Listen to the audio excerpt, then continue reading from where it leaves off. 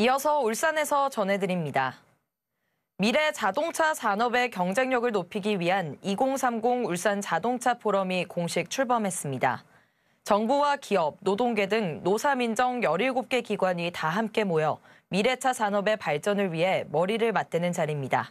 전병주 기자입니다. 현대차 울산 공장에서 생산 중인 아이오닉 5.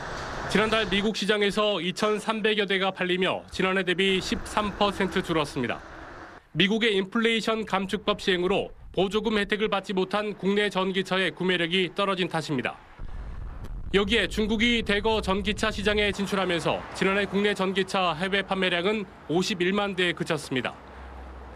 이처럼 해외 전기차 시장에서 위감이 감돌자 울산시는 17개 기관이 모여 미래차 발전 방향을 모색하는 포럼을 구성했습니다.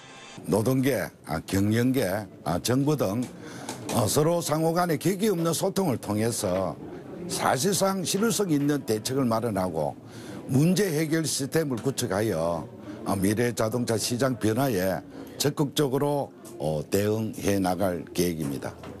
포럼에선 전기차 부품 국내 경쟁력 확보와 향후 국내 전기차 수요에 걸맞는 전력 공급 방안 등이 중점 논의됐습니다. 오는 2030년엔 내연 기간에 비해 전기차 부품 생산 비율이 5배가량 늘어날 걸로 전망되는 만큼 전기차 전용 부품사를 늘려야 한다는 겁니다. 주력 산업 대전환기를 대비한 인력 양성도 화두로 꼽혔습니다. 앞으로 2년 동안에는 국내에서 전문 인력의 양성과 어, 전장화 그리고 전동화 부품을 적극적으로 육성하면서 안정적인 생태계와 공급망 그 확보에 노력을 기울여야 합니다. 또 2030년까지 국내 전기차 300만 대 보급을 위한 친환경 에너지 개발과 에너지 저장 장치 기술 개발에도 적극 협력하기로 했습니다. 미래 자동차 세계 선점을 위해 노사 민정이 머리를 맞댄 가운데 향후 전기차 내수 시장에도 큰 변화가 예고되고 있습니다. UBC 뉴스 전명주입니다.